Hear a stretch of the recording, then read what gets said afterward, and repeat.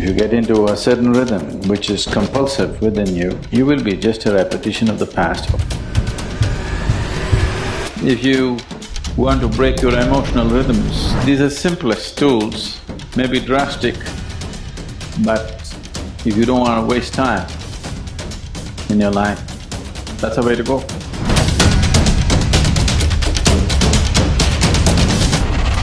When it comes to the innermost core, it is uh, all one.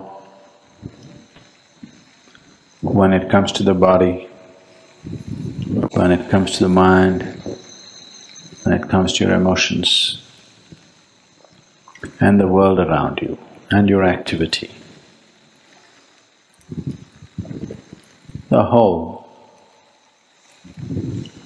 significance of life the beauty of life and the efficacy of life is in just finding the right rhythm.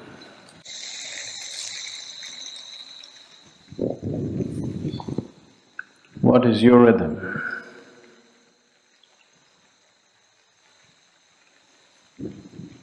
If you listen to the outermost surface of who you are, there will be one kind of rhythm if you delve a little deeper, there'll be another kind of rhythm. There is a very surface uh, rhythm which will find expression in very fundamental needs and compulsions of who you are. If you watch yourself a little more closely, you will see there is a psychological rhythm which need not necessarily match with the needs and compulsions which drive you on a daily basis. If you watch with little more sensitivity, you would notice an emotional rhythm which is of a completely different nature than your psychological rhythm. If you much… watch much more keenly, you may notice a certain chemical rhythm which could be more connected to our emotional cycles than anything else. If you watch with much more awareness, you may notice a certain energy rhythm which will not have anything to do with any of these things, but it causes everything else. But if you look deep enough, there is no rhythm, it's utter stillness. There is nothing to do about one stillness, just to take a dip is all you can do.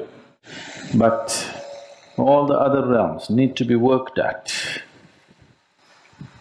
Your energies, your chemistry, your emotion, your thought, your body, your desire, and the karmic rhythms.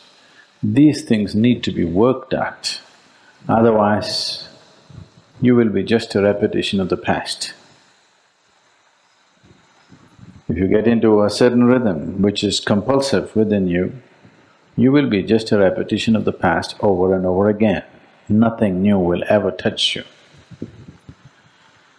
So to find the rhythm and uh, consciously to change the rhythm, to make the rhythm more profound, more complex or more simple.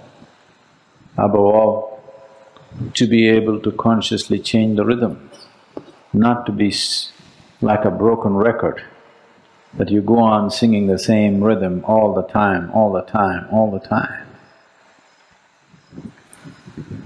At the age of sixty, Somebody comes to me yesterday and says, my husband is not paying enough attention to me. I said, you must be glad. you… you had these prayer problems when you were eighteen, not good but understandable. At sixty, you still have the same problem. At sixty, if you're still a teenager, Nobody's going to tolerate you. yes? Nobody's going to tolerate a sixty-year-old behaving like a teenager, isn't it? so, if you do not learn to consciously change the rhythm of body, mind, emotion, chemistry and energy, you will become like a broken record. Simply repeating the same things over and over again.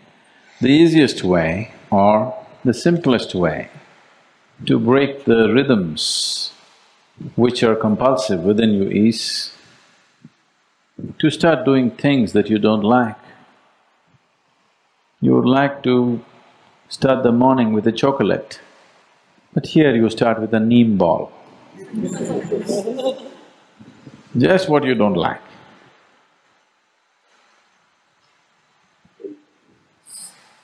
If you want to break your emotional rhythms, the simplest thing is to look for somebody that you cannot stand and to work with them. Choose them as your partner to work with, somebody you just can't stand. These are simplest tools, maybe drastic, but if you don't want to waste time in your life, that's the way to go.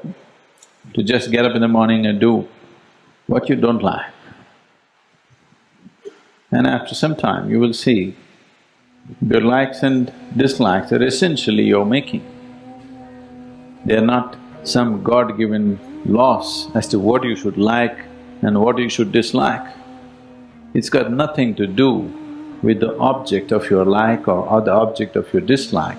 It is just your compulsiveness which draws you to certain things and repels you from certain other things.